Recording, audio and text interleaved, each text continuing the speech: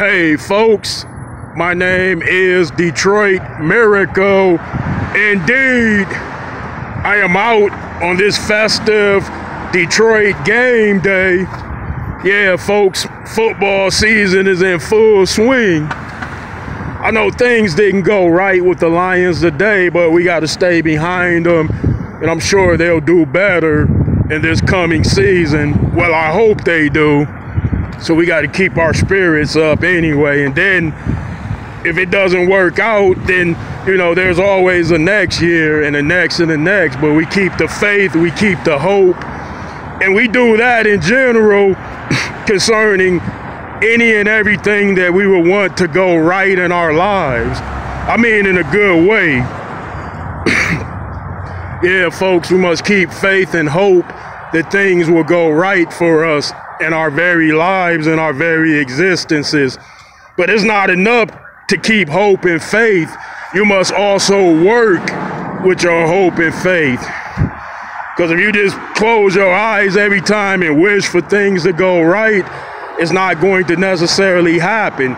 So you got to get out there, you got to work, and you got to get with people that are on board with you that feel as though you do yeah, you want people working in accordance with your plans to make things go right for you as well as for them and their communities.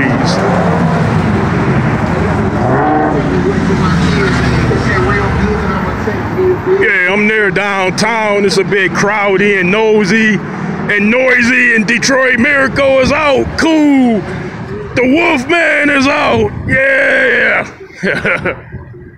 The Wolfman Jack will be proud right now of me. I'm representing in a big way. Cool. Yeah, folks. Yeah. Some might say, Detroit Miracle, you're always having fun, even when you're being serious. Yeah, you got to try to put yourself in good spirits and not let the negativity tear you down. Oh, there's something else. People, if you're having a bad day, if you're in a bad spirits, don't take it out on other people. Try to do your best to keep those feelings inside and try to get around good experiences, good people that will uplift your spirits and make you feel better. And then, you know, treat everybody in a respectable, kind way if you do not have any problems with them, you know, in life.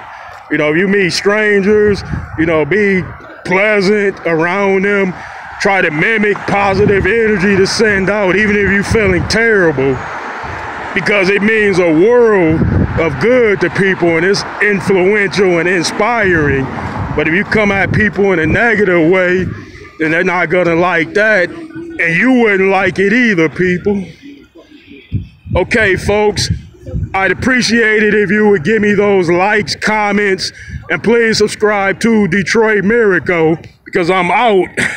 Woo!